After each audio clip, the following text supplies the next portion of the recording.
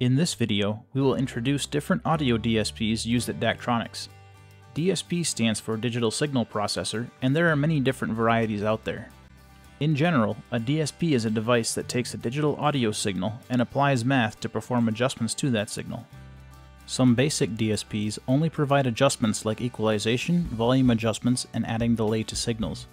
More advanced DSPs are the base of a whole system platform that provides full system control and advanced system processing. DSPs come mainly in two different flavors, standalone DSP units and onboard DSP. Standalone devices, generally referred to as DSPs, are dedicated digital signal processors that act as a system control unit. These tend to be more powerful processors whose main function is to process and route audio signal from various sources to various destinations. Additional features may exist on these units to allow non-experienced users to adjust DSP parameters such as allowing design of custom control interfaces and integrating with other control equipment. Onboard DSP can be found in almost any digital audio device. These are generally less powerful and are dedicated to performing specific functions. For example, amplifiers can have onboard DSP to provide speaker processing for each output channel. Digital mixers also have onboard DSP to perform their functions. At Daktronics, we have used various DSPs over the years. Our current systems are mostly designed using QSC QSYS cores. We also use Harman's BSS Blue series of processors, though these are more common in systems installed prior to 2017. Another common DSP unit is the Shure DFR22. This is generally used with ref mics for feedback reduction. It's also possible to run into Biamp Audia and Nexia processors, though these are mainly on much older systems, and we will not be covering them in this video. QSC's QSYS cores are a family of DSP units that are core to the QSYS ecosystem. They have various input and output configurations depending on the model and configuration that are ordered. Besides audio, they are also capable of controlling both QSC devices and integrating with third-party devices to act as a centralized control system. QSYS cores can also do some video routing, but this is currently not used in Daktronics systems. The cores use QSC's QLAN protocol for audio transmission and communication to QSC QSYS devices. The cores have primary and secondary networks for a redundant setup in case one network goes down.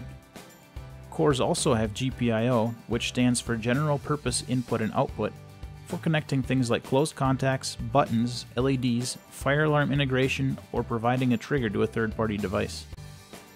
The Core 110F has a fixed analog input and output configuration, consisting of 8 inputs, 8 outputs, and 8 flex connections.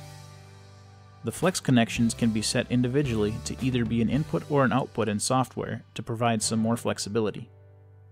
The 110F also has digital inputs and outputs from other devices over QLAN and or Dante.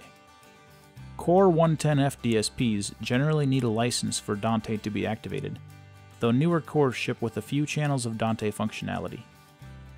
With the Core 110F being a fixed input-output configuration, if one of the connections were to have any problems, the whole unit would need to be repaired or replaced.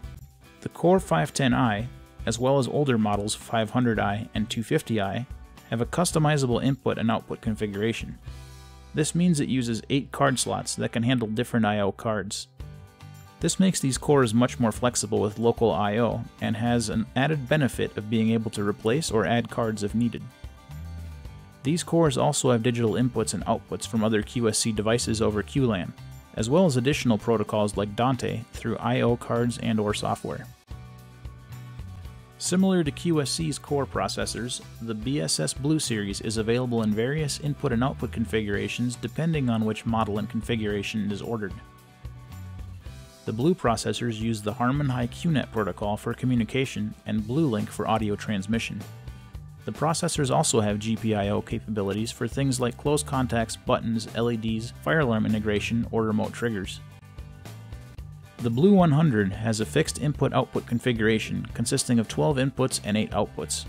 It can also send and receive additional channels over the BlueLink ports from other devices with BlueLink capabilities.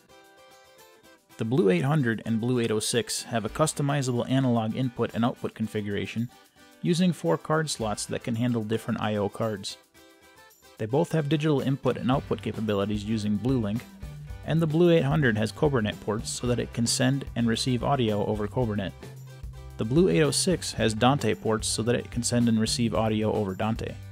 There are other Blue processors available, but these are the ones most commonly found in Daktronics systems. The Shure DFR differs a bit from the other DSPs we have covered in that it only has two analog inputs and two analog outputs.